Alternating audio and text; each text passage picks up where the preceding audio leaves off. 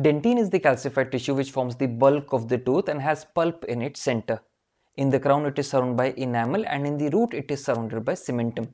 It is formed by odontoblasts present in the pulp but have odontoblastic processes running through the thickness of dentine. This morphology divides the dentine into few parts. Dentinal tubules which contains the odontoblastic processes, peritubular dentine which makes the wall of the dentinal tubules and intertubular dentine which forms the bulk of dentine between the tubules. Let us start with dentinal tubules.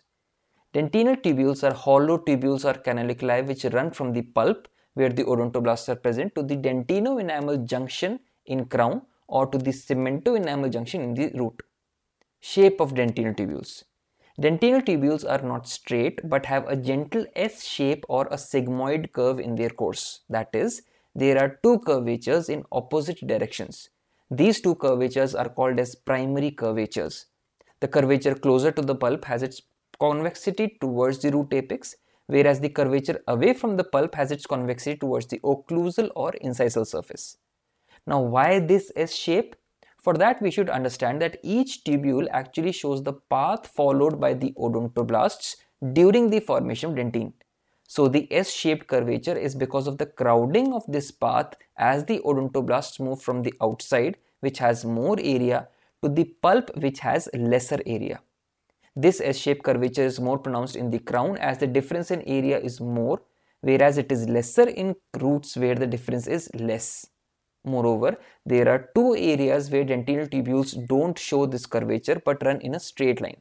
First is the cusp or the incisal ridge area Second is the root apex.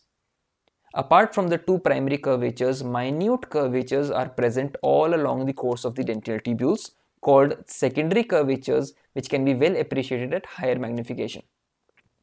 Contour lines of Owens are lines formed when secondary curvature of adjacent tubules coincide together. All dentinal tubules in any part of the dentine ends on both surfaces at 90 degrees, be it in the pulpal end or the outer ends at a dentino-enamel junction or cemento-enamel junction. Dentinal tubules have branches all along its course called the lateral branches and at the outer end called terminal branches. Now let us see the dimensions of dentinal tubules. The length of each tubule depends on the thickness of dentine. Moreover, they are longer than that because of the primary and secondary curvatures.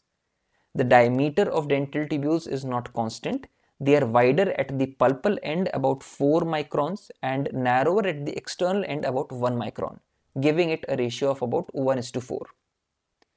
Now let us see what are the contents of these dentinal tubules. Odontoblastic process. Odontoblasts are located in the pulp just beneath the dentine.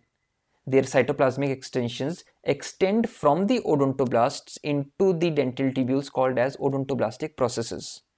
They lack any major organelles like mitochondria or endoplasmic reticulum but have abundance of tubules and filaments.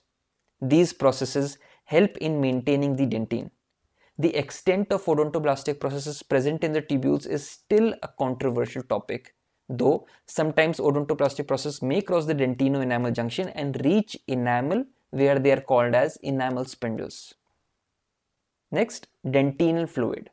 Dentinal fluid is a fluid present in the periodontoblastic space located between the odontoblastic process and the wall of the dentinal tubule.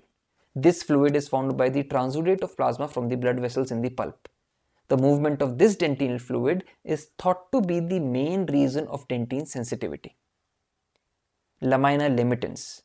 Lamina limitans literally means the limiting membrane. It is an organic layer present on the inner side of the dentinal tubule it is rich in glycosaminoglycans. So that was about the dentinal tubules. Now coming to the peritubular dentine. As the name suggests, it is the dentine at the periphery of dentinal tubule. It forms the wall of the dentinal tubule. Peritubular dentine has very less amount of collagen in its organic matrix but has abundant non-collagenous proteins. It is more mineralized than intertubular dentine. The thickness of peritubular dentine increases as we move from the pulp end to outwards. This is the reason why dentinal tubules are narrower at the outer end and uh, wider at the pulpal end. Since the deposition continues inside the tubule, a more appropriate name would be intratubular dentine, but not a popular one. With age, dentinal tubules become completely occluded with continuous deposition of peritubular dentine. This is called as sclerotic dentine. It occurs mostly at the apical third of the root. This changes the refractive index of dentine and thus is also called as transparent dentine or translucent dentine. Finally, the intertubular dentine. Intertubular dentine forms the main bulk of dentine or it is the dentine between the dentinal tubules. Its organic matrix is rich in type 1 collagen fibers which run at 90 degree to the dentinal tubules. It is less mineralized than peritubular dentine.